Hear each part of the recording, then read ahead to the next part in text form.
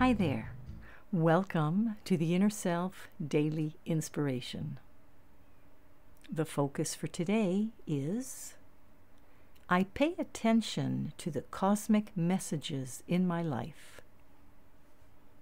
Everything happens for our highest good, even the challenges, the hard spots, the person who's a pain.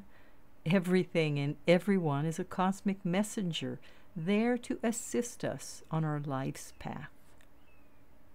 We never know what the purpose of an event is, other than we can be assured that all is in divine order, even when we can't see the positive outcome way up the road.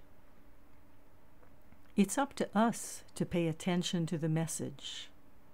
When we remember that everyone is our teacher and a divine emissary from the universe, then we can see everything around us with a different eye and start progressing much faster up the path of inner peace.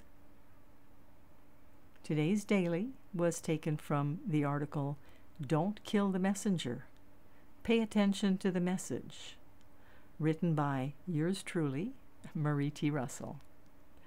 This is Marie T. Russell, publisher of Inner Self, wishing you a day of paying attention to the cosmic messages in your life. Your focus for today. I pay attention to the cosmic messages in my life.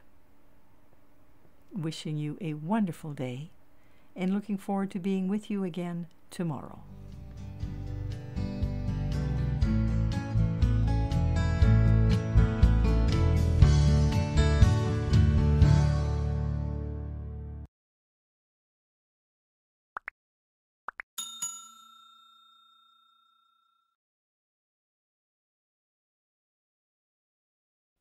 Visit the Inner Self Market for new attitudes and new possibilities.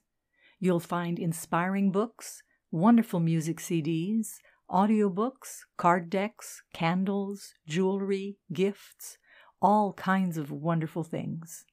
Visit us at market.innerself.com.